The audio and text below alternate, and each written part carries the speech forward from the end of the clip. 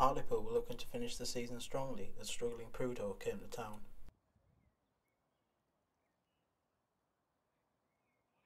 So I aim to start quick and try to get in the lad from the off Yeah, with the weather today. take the game to them rather than sit back.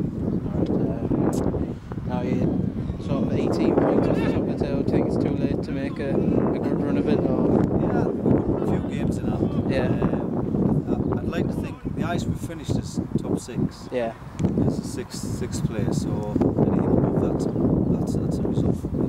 So Okay. maybe I'd love to aim for third. but Realistically, I think it's going to be fourth fifth. The overgrown grass did its best to stop the pace of the game, but Hartlepool made a blistering start.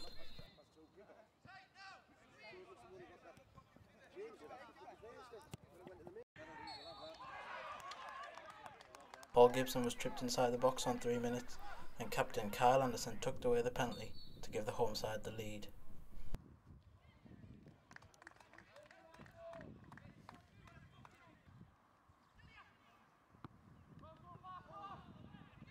Hartlepool continued to press, and Gibson was unlucky to see a shot crash off the bar.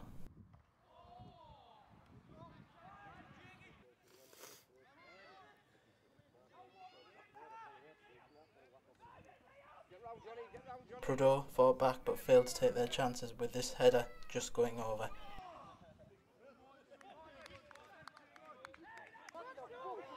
And Hartlepool continued to give chances to Prudhoe right until half time. The home side improved in the second half with Gibson going close just after the break.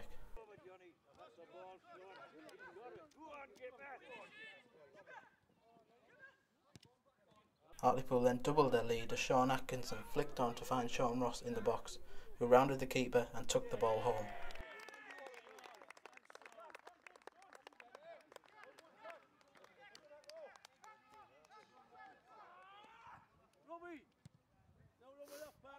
Despite some openings, Prudhoe never looked like taking their chances in the second half either.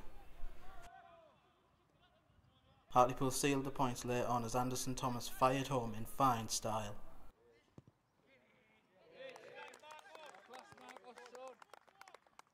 Hartlepool manager Anthony Thomas will be happy with the performance which takes his team up to 8th in the league.